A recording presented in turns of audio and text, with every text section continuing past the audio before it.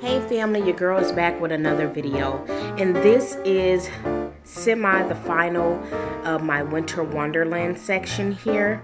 Um, I actually want to redo the lights over here because I want it to come completely here so I have to go get an extension.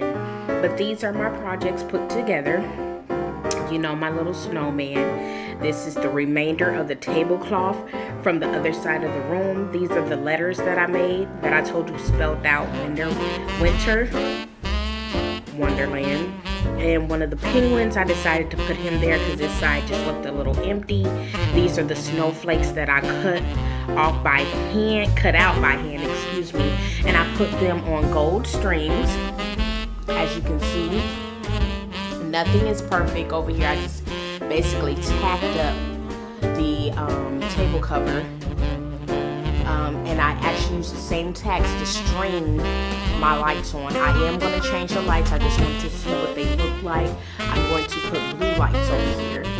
Um, you see the snowman is on here. I actually cut this in half and ran it around. Um, I just placed this here, y'all. This is not going to stay here. The kids like it, but I'm probably going to put something else. I decided to put these bottles here. I'm actually going to go and get a charger for these to go on. And I'm going to get those flowers to put in these bottles as well. So I have to make another trip to Dollar Tree. And um, this is how it came out. I think it came out pretty nice. I want to get some dancing lights because the dancing lights will flicker off of the glitter and it will look nice.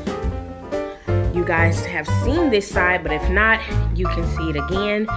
This is the other part of the tablecloth with the glitter, the um, houses with the chimneys that I made out of construction paper, the poster boards up there, um, the trees, and these are the lights that reflect all the way on the ceiling. You guys can't see it. You probably can see a little bit, but not a lot. And I actually went on and put the Winter Wonderland across both windows. Um, I'm going to go get the table cover. Well, yeah, the table cover for the table, and I'll be able to complete this as well. I'm going to have to find some lights long enough that I can string across here. So this whole section will be full of lights.